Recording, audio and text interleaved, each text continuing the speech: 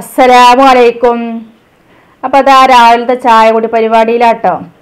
നല്ല പുട്ടും കടലക്കറിയൊക്കെ കൂട്ടി ചായ എടുക്കുകയാണ് അപ്പം ഇന്നത്തെ ഈ രാവിലത്തെ ചായന്റെ കൂടി കഴിഞ്ഞാൽ പിന്നെ അടുക്കളക്കും നമുക്ക് കുറച്ച് നേരം അത്ര റെസ്റ്റാണെന്ന് ശ്രോതാക്കന്മാരെ നീർച്ചായ കാരണേ നല്ല നീർച്ചച്ചോറും ബീഫ് വരട്ടിയതൊക്കെ ഉണ്ടാവും. അപ്പോൾ ഞങ്ങൾ അടുത്ത് തന്നെയാണ് മദ്രസ. മദ്രസയുടെ തൊടുവിൽ വെച്ചിട്ട് ഇതൊക്കെ ഉണ്ടാക്കണത്. അപ്പൊ ഒക്കെ റെഡി ആയിക്കണ്. ബീഫ് കറിയാണത് തേങ്ങാച്ചോറൊക്കെ അതാ ദമ്മിട്ട് വെച്ചിക്കണ്.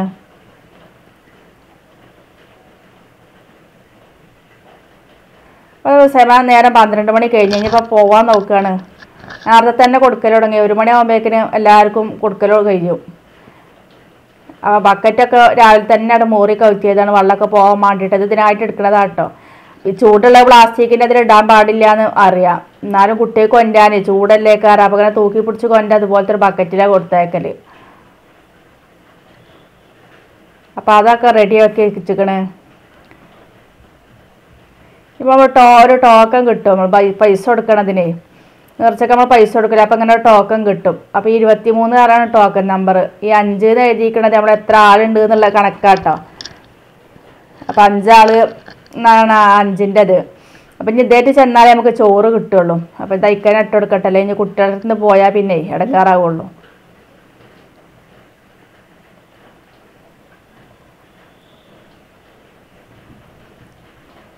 നമുക്ക് ഉച്ചയ്ക്ക് ചോറുന്നാറാകുമ്പോഴേക്കിന് ചോറും കൂട്ടാനൊക്കെ നമ്മൾ പെരയിലെത്തും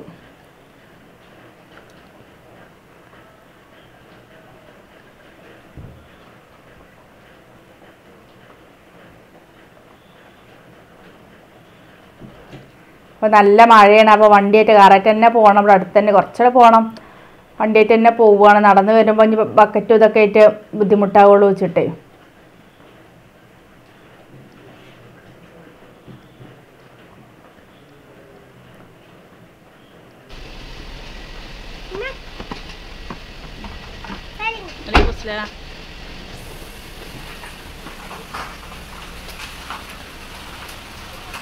അപ്പോൾ ഇതാ ഓലൊക്കെ പറഞ്ഞയച്ചു.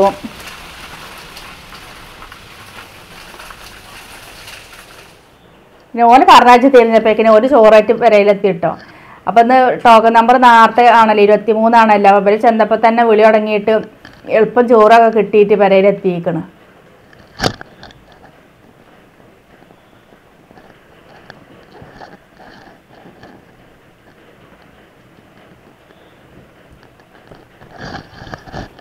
ഇപ്പം കണ്ടില്ല നല്ല ബീഫ് വരട്ടിയതും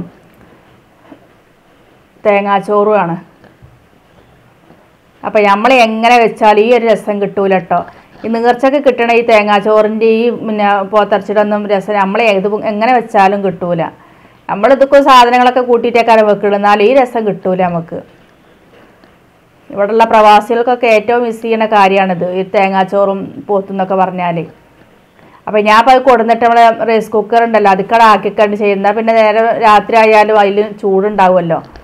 പിന്നെ നമ്മൾ തണുത്ത് നിൽക്കൊന്നുമില്ല ചൂട് കൊടുക്കാൻ തന്നെ തിന്ന നമുക്ക് രാത്രി ആയാലും ബാക്കിയുള്ള ചോറൊക്കെ.